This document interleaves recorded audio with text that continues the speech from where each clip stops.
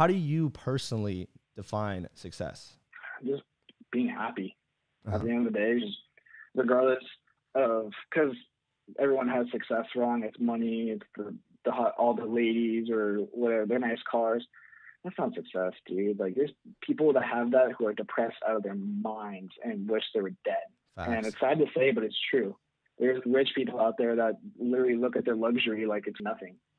Yet there's someone over there across the country who just bought a house for his kids. He's the most happiest in the world, you know? It's just being happy because, you know, that's just all that matters, you know? It's making sure that you're okay, making sure your loved ones are okay. Mm-hmm. And like success to me is being able to buy a house for my whole family and making sure that no one in my family is starving or poor. Right. So that's happiness to me. But uh, happiness is different for everyone. So I just think just be happy, do what you love. Don't do something you don't want to do. You know, mm-hmm. that's that's success.